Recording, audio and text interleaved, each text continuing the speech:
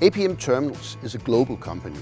Uh, we operate and we develop ports, primarily container ports, all over the world. We have activities right now in 68 different countries all over the world and we are headquartered in The Hague in the Netherlands. What I really like about Den Haag is it's, it's very green.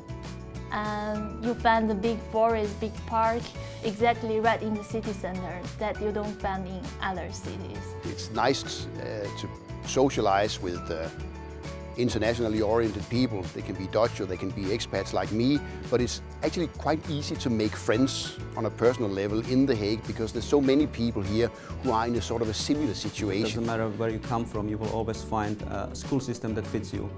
I mean, you, ha you have a French school, you have German school, you have British school, you have American school. And the primary reason for, for choosing the Netherlands is that it's of course a very international country. It's a country with a long tradition spanning hundreds of years back in terms of global trade and uh, shipping and, and all these kinds of activities.